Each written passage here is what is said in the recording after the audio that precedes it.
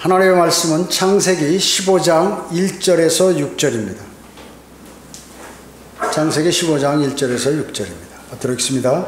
이런 일들 후에 주의 말씀이 환상 중에 아브라함에게 임하여 말씀하시기를 아브라함아 두려워 말라 나는 너의 방패요 너의 지극히 큰 상인이라 하시니라 아브라함이 말씀드리기를 나는 자식이 없사오며 내 집에 청지기가 다마스커스의 엘리에셀이오니 주 하나님이여 나 아브라함이 말 아, 나에게 무엇을 주시려 하나이까 하고 아브라함이 말씀드리기를 보소서. 주께서 내게 씨를 주시지 아니하았으니 보소서. 내 집에서 태어난 자가 내 상속자가 될 것이니이다 하니 보라 주의 말씀이 그에게 임하여 말씀하시기를 이 사람이 너의 상속자가 되지 않을 것이니 내 자신의 몸에서 나올 자가 내 상속자가 되리라 하시고 그를 밖으로 데리고 나가 말씀하시기를 이제 하늘을 쳐다보고 별들을 셀 수 있다면 그 별들을 세어봐라. 또 그에게 말씀하시기를 너의 씨가 이와 같이 같으리라 하시더라. 아브라함이 주를 믿으니 주께서 그것을 그에게 의로 여기셨더라. 예, 오늘 말씀 제목은 신약의 구여, 어, 신약 구원의 모형인 아브라함입니다. 아브라함. 제가 이 안경을 이번에 아주 최고 좋은 걸로 하나 맞췄습니다. 이 안경이 나쁘니까 이렇게 글씨가 이렇게 하다 보면 다른 데가 읽어지고 이렇게 잘할 때가 많아서 어, 큰 마음 먹고 제가 최고 비싼 걸로 하나 아, 맞췄습니다. 오늘 말씀 제목은 아, 신약 구원의 모형인 아브라함입니다. 아, 여러분은 믿음으로 말미암아 은혜로 구원을 받았죠. 은혜로 구원을 받았습니다. 로마서 4장 5절에 보면 행함이 없어도 불경건한 자를 의롭다 하시는 그분을 믿는 사람에게는 그의 믿음이 의로 여겨졌느니라 이렇게 말씀하고 있습니다.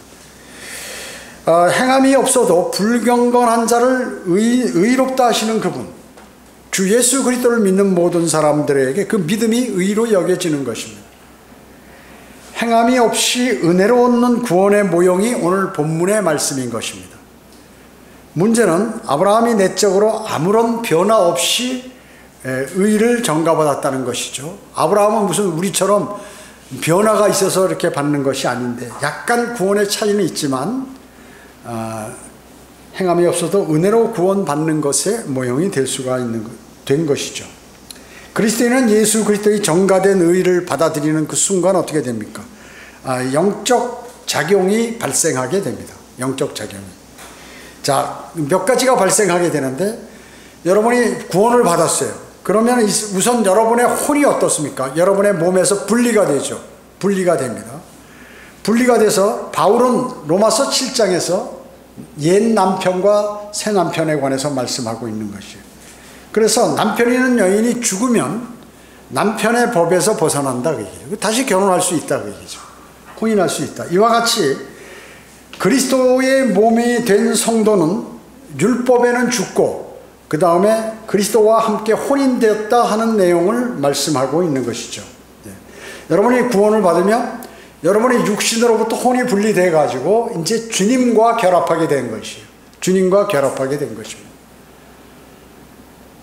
그의 영은 어, 죽은 그 다음에 그의 영은 어떻습니까? 구원받은 사람의 영은 거듭나죠. 새로 태어난다 그 얘기죠. 죽은 영이 살아난다는 것이죠.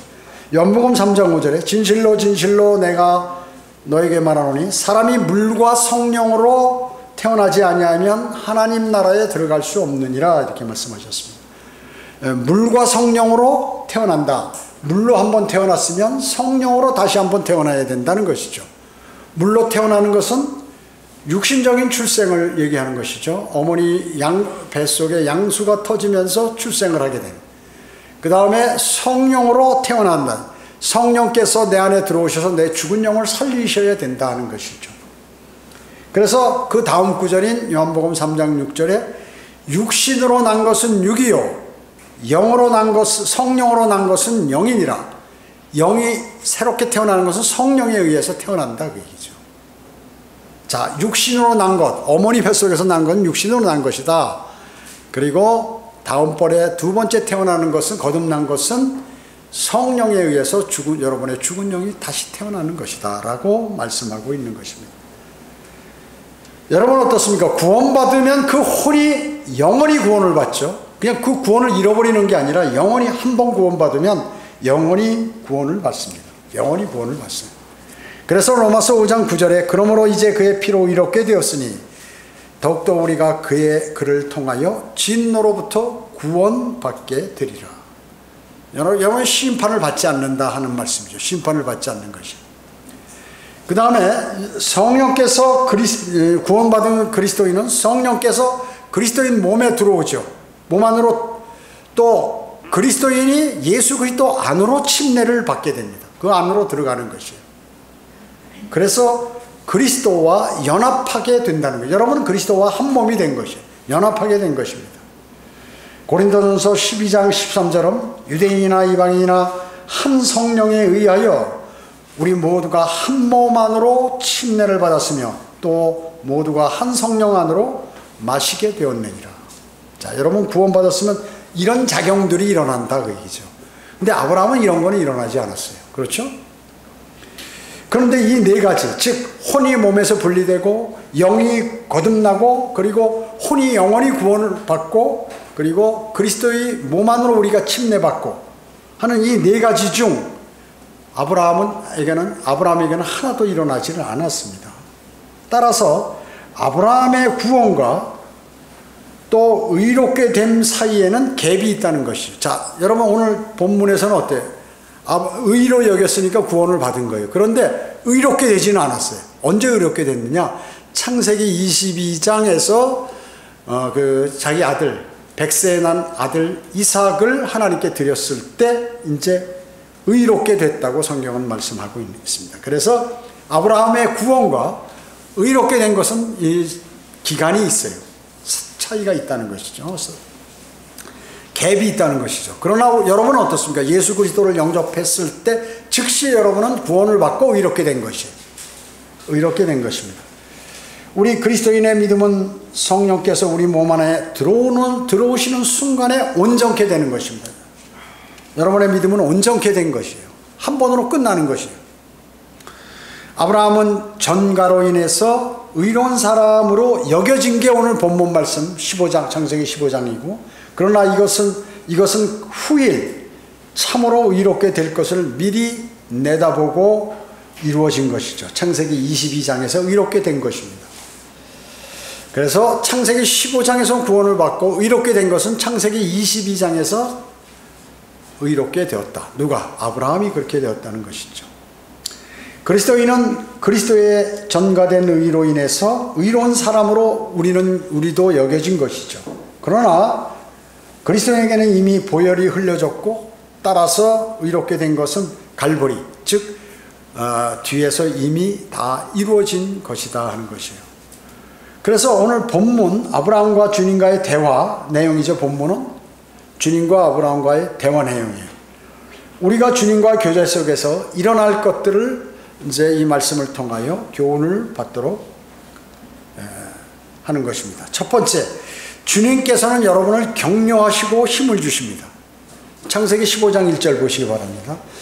이런 일들 후에 주의 말씀이 환상 중에 아브라함에게 임하여 말씀하시기를 아브라함아 두려워 말라 나는 너의 방패요 너의 지극히 큰 상이니라 이렇게 말씀하셨죠.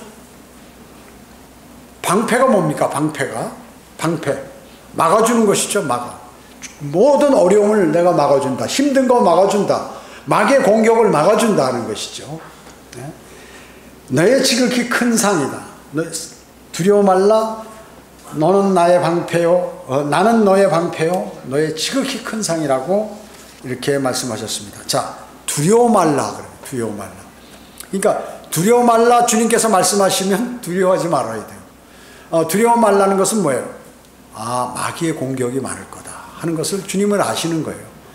여러분, 용맹스러운 여호수아도 말이죠. 자기가 이제 모세가 죽고 나서 그 나라를 통치하고 이제 대표로 해서 나라를 이끌고 나가는 데 있어서 두려움이 임하게 되는 거예요. 마귀가 가만 놔두질 않거든요.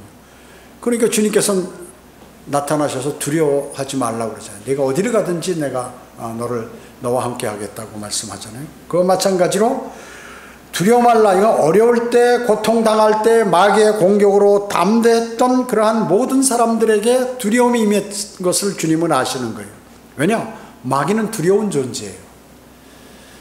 어, 사람, 그리스도인을 포함 모든 사람들이 마귀를 우습게 알으면 안 돼요. 마귀는 두려운 존재예요. 그렇기 때문에 마귀를 이길 수 있는 분은 주님 한 분뿐이에요. 그렇기 때문에 주님이 두려워하지 말라면 딱 두려워할 필요 없는 그분이 내가 책임지겠다 그 말씀이에요. 책임지겠다는 말씀이에요. 예수 그리스도께서는 여러 번 여러 번 제자들에게 두려워 말라고 그랬죠. 요한복음 12장 15절에 보면 시온에 따라 두려워 말라 보라 너의 왕 왕이 나귀 새끼를 타고 오시는도다라고 한 것 같더라. 이제 주님이 주님께서 이 땅에 오셔서 통치할 테니까 두려워하지 말라 그 얘기죠. 누가복음 12장 7절에서도 도리어 너의 머리에 에, 머리에 머리카락 까지도 세워 모두 세워 두셨느니라. 그러므로 두려워하지 말라. 너희는 많은 참새보다 더 귀하니라. 이렇게 말씀하는. 자, 여러분이 머리카락이 어떻습니까? 매일 빠지잖아요. 빠지는 것도 대단히 많죠. 그런데 이 전체 머리카락을 아예 오늘 틀리고 내일 틀린데 주님께서 오늘 세워놓으셨다가 이게 뭐 머리카락이 똑같습니까? 즉시 아시는 거예요. 몇 개인지. 여러분의 머리카락이 몇 개인 줄 아시는 것이. 여러분 아십니까? 우리도 모르는데 주님은 아신다. 그렇기 때문에 우리는 많은 참새보다도 더 귀하다고 지금 말씀하고 있는 거예요. 귀하다고 말씀하고 있는 것이. 사도행전 27장 23절 24절에서는 내게 속해 있고 내게 섬기는 하나님의 천사가 간밤에 내 곁에 서서 말하기를 바울아 두려워 말라. 내가 반드시 카이사 앞에 서야 하리라.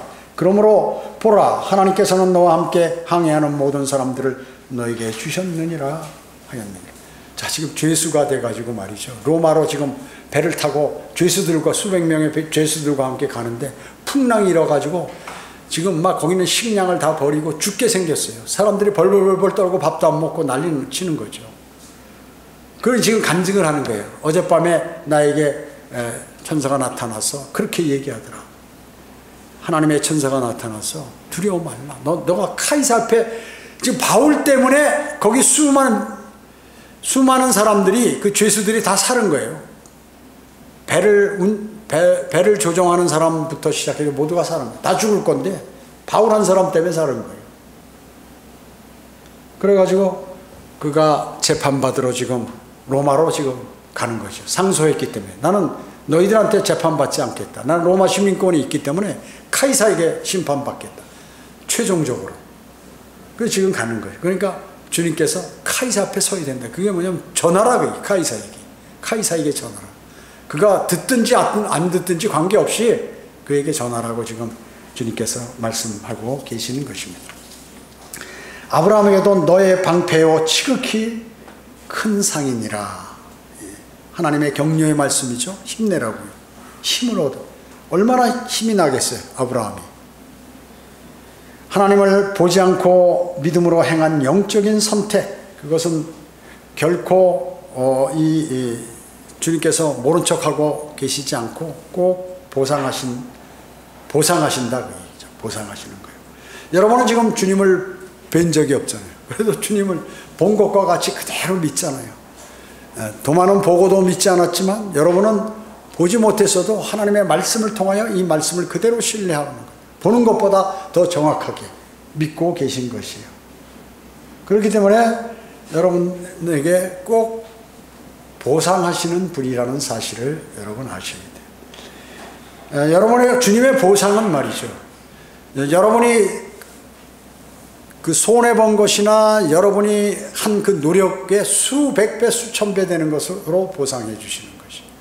대단히 통이 크신 분이에요. 대단히 통이 크신 분이에요. 고린도전서 2장 9절은요. 그러나 기록된 바와 같이 하나님께서 자기를 사랑하는 자들을 위하여 예비하신 것들은 눈을 눈으로 보지도 못하였고 귀로 듣지도 못하였으며 인간의 마음속에 들어온 적도 없었느니라 한 것이라. 예, 지극히 큰 상은 여러분들이 받을 상을 기억나게 하는 것이야. 여러분 이제 그런 상을 받는다는 거죠. 지금 여기에서 복음 전하면서 어려운 거, 또 이 성경대로 믿는 믿음을 갖는 것으로 인하여 받는 여러분들의 그 어려움, 또 다른 사람들의 비웃음, 이런 거 있잖아요. 그래서 상으로 대치된다는 것이 지극히 큰 상이 그것을 너에게 주겠다고 말씀하시는 아브라함에게도 너 이거 잘 참으면 내가 너의 방패니까 너가 이것을 그대로 내 말대로 수행하면 너에게 큰 상을 준다. 나는 너, 너에게 큰 상을 줄 분이다라는 것을 말씀하고 있는 것이에요. 고린도 후서 4장 17절은 이는 우리가 잠시 받는 가벼운 환란이 우리를 위하여 훨씬 뛰어난 영, 영원한 영광의 비중을 이뤄가기 때문이라 이렇게 말씀합니다. 이 땅에 있어서 우리가 환란 당하는 건 잠시죠. 계속해서 받는 거 아니에요. 주님 오시면 환란 끝이에요. 환란 끝입니다. 여러분이 여러분의 생을 마감하기 전에 주님은 이 땅에 오시는 것입니다. 주님께서는 여러분에게 힘을 주시고 격려해 주시고 소망을 갖도록 하시는 것이죠.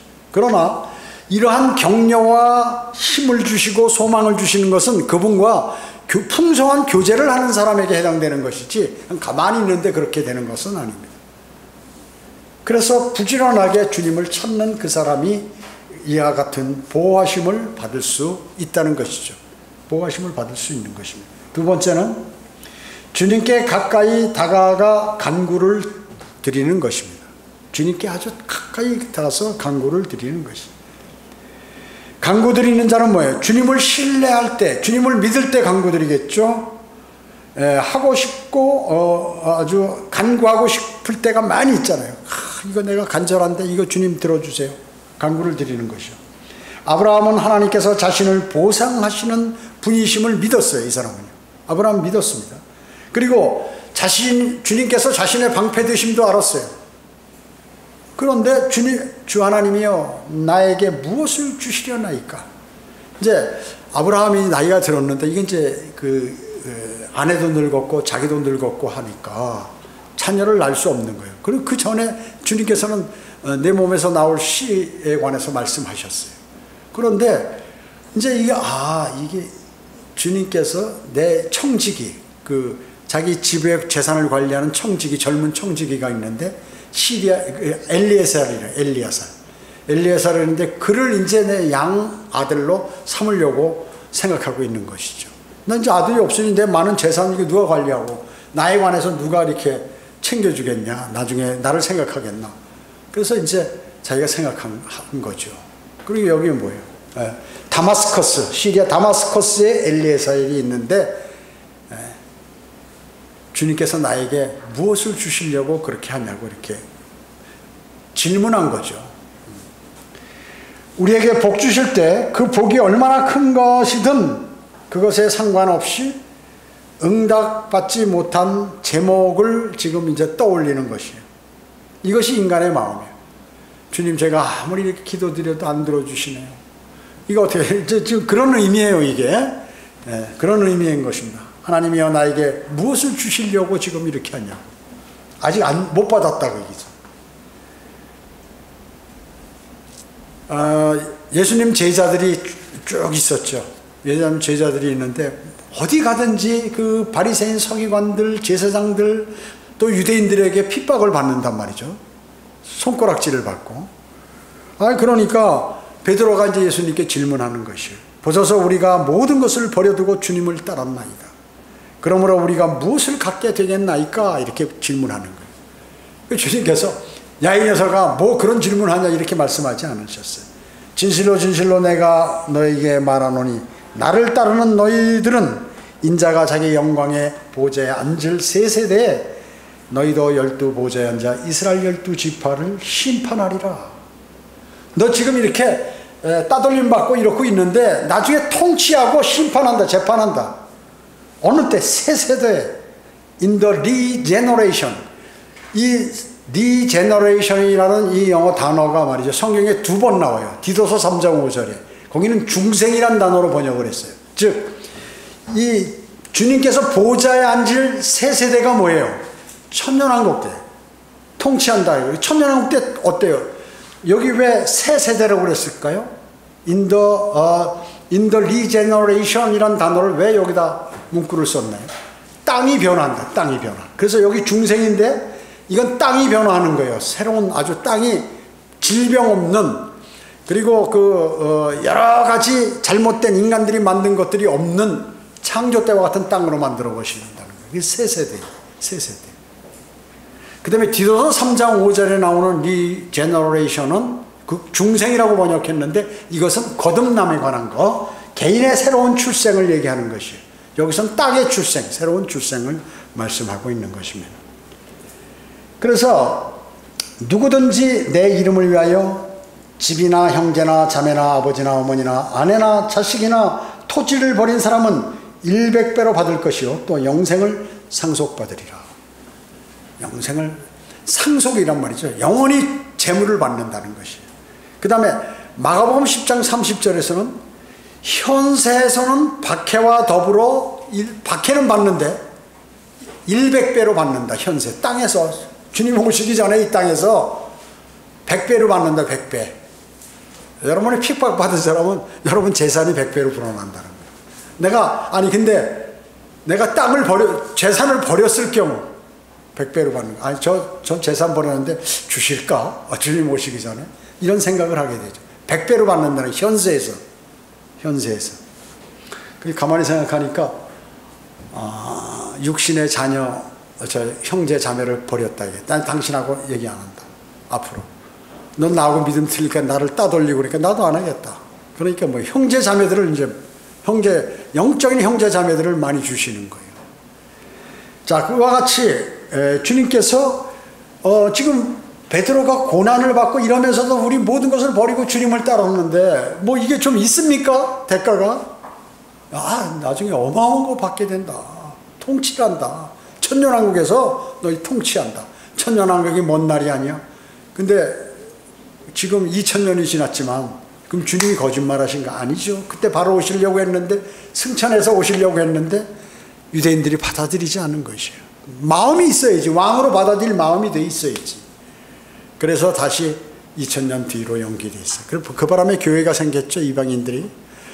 그래서 대환란 때 완전히 그들이 주님을 찾고 매달리고 살려달라고 그래서 주님을 맞이할 때 그때 주님이 오시는 거예요. 그때 오시는 것입니다. 여기 아브라함은 나는 자식이 없사오며 이렇게 했습니다. 여러 가지 복을 주셨는데 후손이 없다. 돈도 많고 재산도 많고 뭐 여러 가지 좋은 편안히 살 수 있는 거처도 마련하시고 다 했는데 내가 죽게 되면은 이게 이 재산이나 이런 거 주님께서 주신 모든 것들이 이게 무슨 소용이 있겠습니까? 이 말씀이란 말이죠. 그러니까 다마스커스의 엘리에살이 이제 청지기가 있는데 내가 얘한테 지금 이거를 이렇게 하려고 합니다. 이 엘리에셀이라는 뜻이요. 나의 하나님은 도우시는 분이란 뜻이에요. 도우시는 분. 즉 위대하신 위로자, 도우시는 위로자 성령을 예표하는 거죠. 성령님은 미리 보여주는 것이에요. 엘리에셀을 통하여. 그래서 상속자로 삼으려는 건데 이게 씨를 주시지 않았으니 이제 엘리에셀을 상속자로 삼으려고 합니다. 라는 뜻이 내포되어 있습니다. 자, 이건 누구의 생각? 주님께서 그렇게 하라고 그랬어요? 아니죠. 아브라함의 생각입니다. 아브라함의 생각. 아브라함의 생각. 세 번째는 하나님의 생각은 나의 생각과 다르시다 하는 것입니다. 하나님의 생각은 나의 생각과 다르시다는 것입니다. 여기 창세기 15장 4절을 한번 읽어보세요. 보세요. 4절 보세요. 보라 주의 말씀이 그에게 임하여 말씀하시기를 이 사람은 엘리에셀 이 사람은 너의 상속자가 되지 않을 것이니 내 자신의 몸에서 나올 자가 내 상속자가 되리라 하시고 아니 너 너 네 아내가 애 낳는다 그 말씀이죠 지금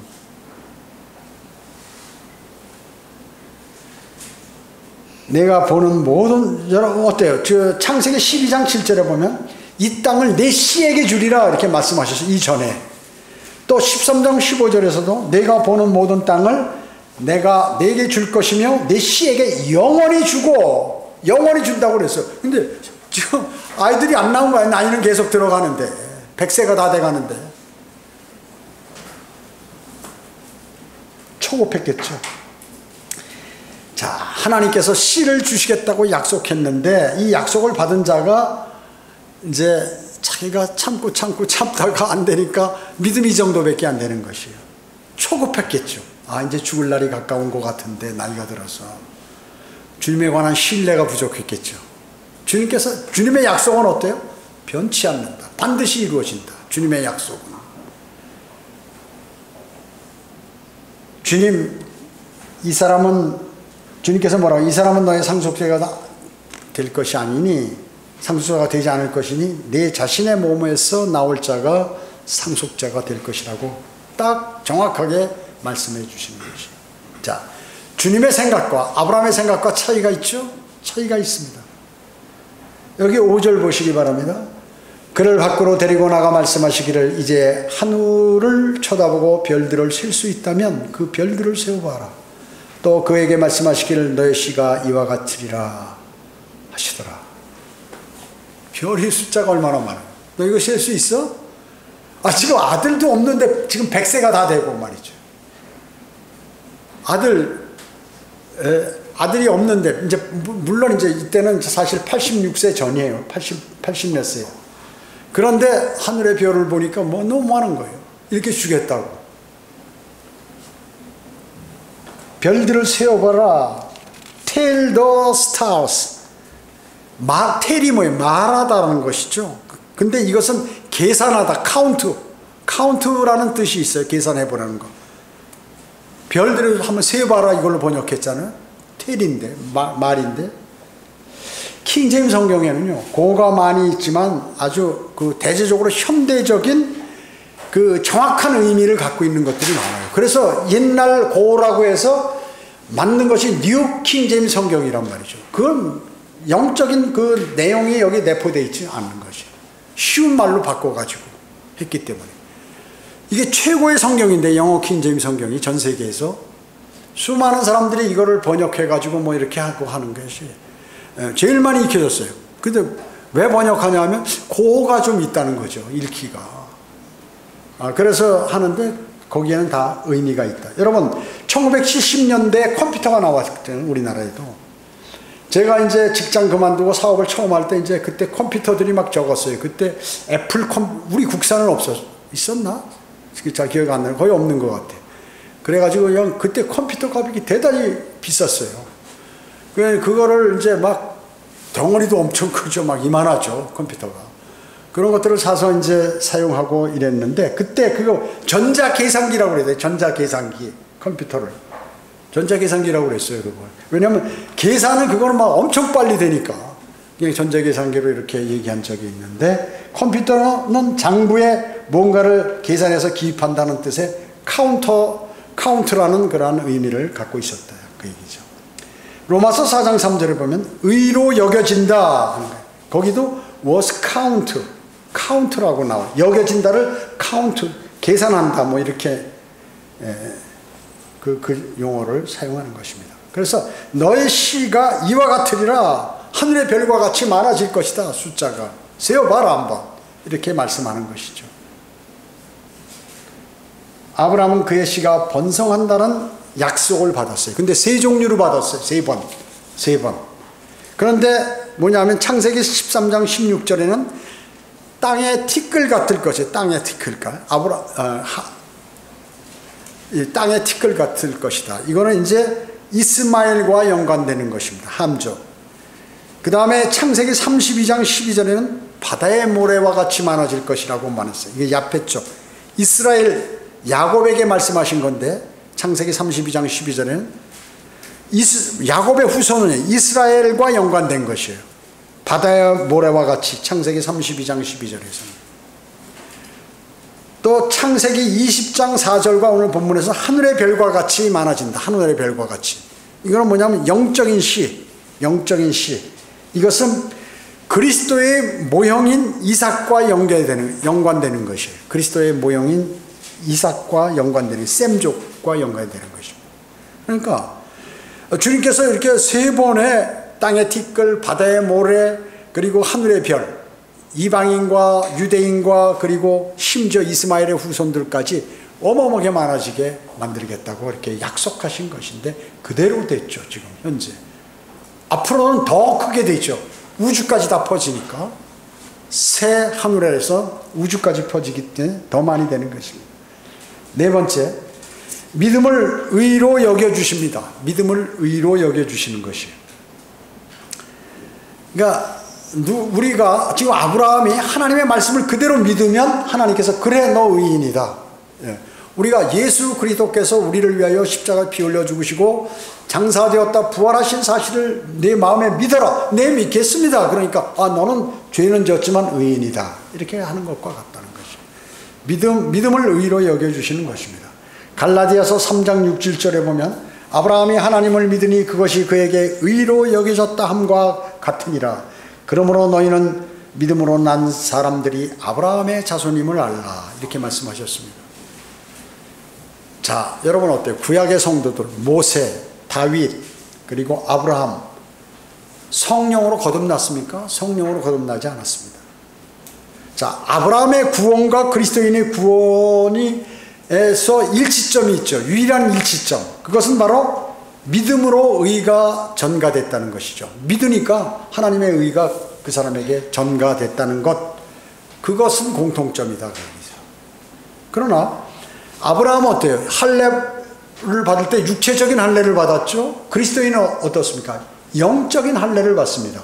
예수 그리스도를 영접하면 육신이 혼이 육신으로부터 갈라진다. 영적인 할례를 받는다. 차이가 있죠. 아브라함하고 그리스도인하고요.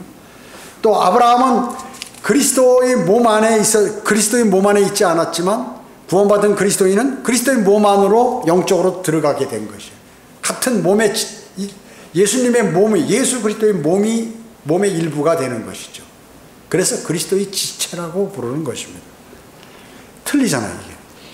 또 아브라함은 죽어서 아브라함의 품이라고 하는 지하 낙원에 갔죠. 지하 낙원에 갔습니다. 물론 이제 예수님께서 하늘로 승천할 때 그 혼을 데리고 하늘로 올라가셨지만 어, 그런 아브라 아브라함의 품인 지하 낙원에 갔다. 우리는 죽으면 어떻게 혼이 바로 셋째 하늘로 올라가게 것이죠. 다릅니다. 죽어서도. 아브라함은 어때요? 완전한 속죄가 없었습니다. 그러나 그리스도인은 완전히 속죄된 것이에요. 죄를 지면 또그 어, 아브라함은 어때요? 죄를 짓고 하나님께 용서해달라고 제사를 안 드리면 어떻게? 그 죄, 그거는 음, 어, 벌을 받게 된다는 것이죠. 그리스도인은 이 벌을 받지 않, 영원한 정죄에 빠지지 않는다는 것이죠. 아브라함은 어때요?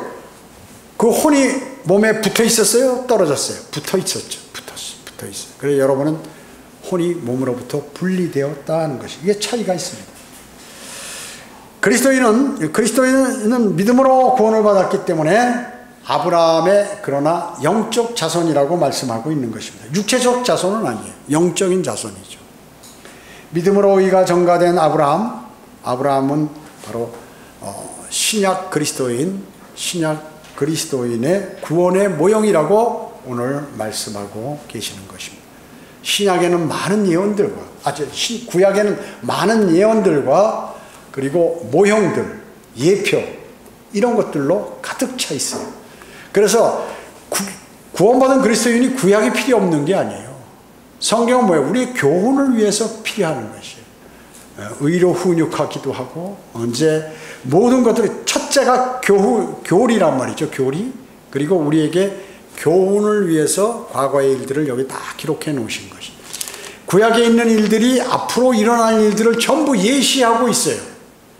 예시하고 있습니다. 그래서 하나님의 말씀을 하나도 버릴 것이 없는 그러한 성경이 대단한 것이죠. 대단한 이 대단한 성경이 만약에 앞뒤가 잘 맞지 않는 병개된 성경이라면 그것은 헛된 믿음을 갖게 되는 것이죠. 그래서 이단들과 잘못된 그러한 기독교들은 전부 변개된 성경을 사용하고 있는 것입니다.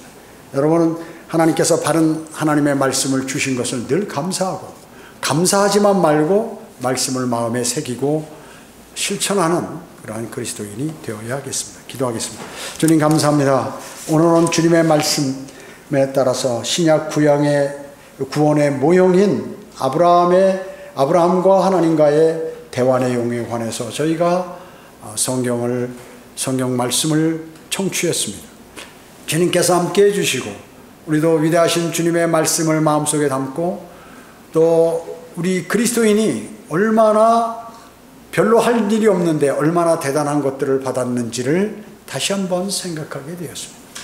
잠시 받는 환란이 앞으로 올 영광과 비교한다면 아무것도 아니라는 사실을 주님께서 우리에게 알려주십니다. 그래서 능히 이기고 주님께서 늘 우리의 방패 되시며 우리의 은혜가 되시고 힘이 되시고 우리의 길을 밝히시는 그러한 아, 지도자가 되심을 늘 우리는 마음으로 믿고 그분을 따르는 것입니다. 이제 경배를 마치고 다 돌아가게 됩니다. 한 주간의 삶도 말씀과 기도에 정진하고 늘 풍성한 은혜의 삶을 살아가도록 주님 도와주시길 원합니다. 은혜 감사드리며 다시 오셔서 저희를 데려가실 주 예수 그리스도의 이름으로 기도드립니다. 아멘.